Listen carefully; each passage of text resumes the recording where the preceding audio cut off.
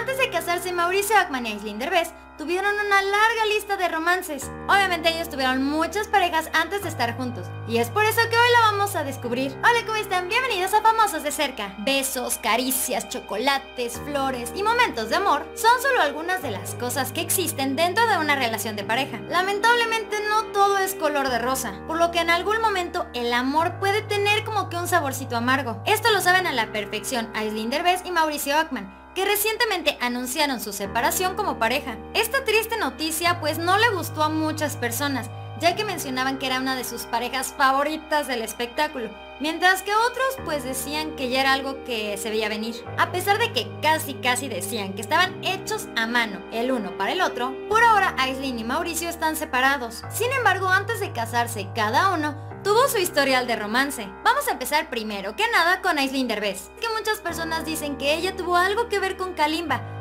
justo cuando la carrera de Aislinn estaba comenzando. A pesar de esto, jamás se les vio públicamente juntos como que encariñados o algo. Lo cierto es que Aislinn Derbez protagonizó el video musical de Solo Déjate Amar. Una de las parejas confirmadas de Aislinn Derbez fue Cristian Vázquez. Ambos trabajaron juntos en la serie Los Minondo. Su relación duró tres años y posteriormente cada quien decidió tomar su propio camino. Cristian Vázquez ha participado en películas como Crimen sin Perdón y Elysium. Por su parte, Mauricio Ockman tuvo una relación con la arquitecta María José del Valle, la cual diría yo es una de sus principales relaciones, ya que con ella se casó y hasta tuvo una hija. Después Mauricio se divorció en 2008 y después igualmente cada quien siguió por su camino. Posteriormente Mauricio comenzó una relación con la actriz colombiana Adriana Campos. Por desgracia ella falleció en 2015 en un accidente automovilístico y a pesar de que ya no tenían contacto, Mauricio Ockman le dedicó un tierno mensaje. En 2012 el actor estuvo con Begoña Narváez, sin embargo solo estuvieron cerca de dos años juntos.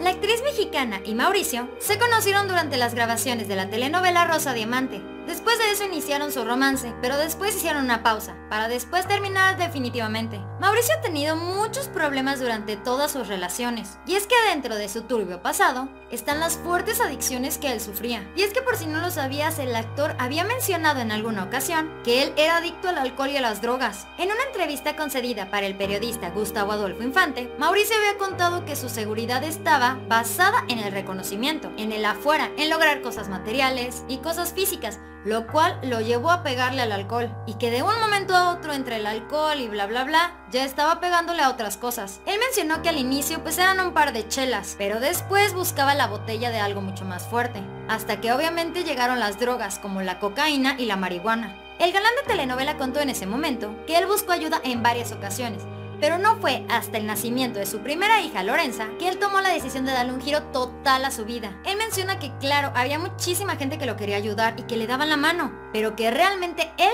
no se quería ayudar. Fue ahí cuando llega su hija a su vida y al año él decide levantarse y pedir ayuda. Él detalló que estuvo internado durante 35 días en un centro de rehabilitación en la Ciudad de México. Él mencionó que desde ese día él no se ve amaneciendo de otra manera, estar entero, consciente, sano. Tiempo después Mauricio y Jaislyn se conocieron. Ellos estaban filmando juntos la película A la Mala. Y pues cuando terminó la cinta, ambos como que decidieron darse una oportunidad. Ellos se casaron en junio de 2016 y para el 2017 anunciaron que tendrían a su primer bebé. A final de cuentas la pareja decidió separarse, pero todavía dicen que hay esperanza. Y es que después de que ellos dijeron, ¿sabes qué? La relación de pareja se va a terminar, es la propia Aislinn Derbez que nos devuelve un poquito de esperanza. Y es que la hija de Eugenio Derbez subió una fotografía a su cuenta oficial de Instagram, en la cual ella sale acompañada de su hija Kailani. Lo que más llamó de esta fotografía no es literal la foto en sí, sino la descripción de ella. Y es que la actriz etiquetó a Mauricio y y él respondió, por lo que muchísimos nos empezamos a preguntar si de plano van a volver en algún momento o qué onda. En esta fotografía Aislinn escribió,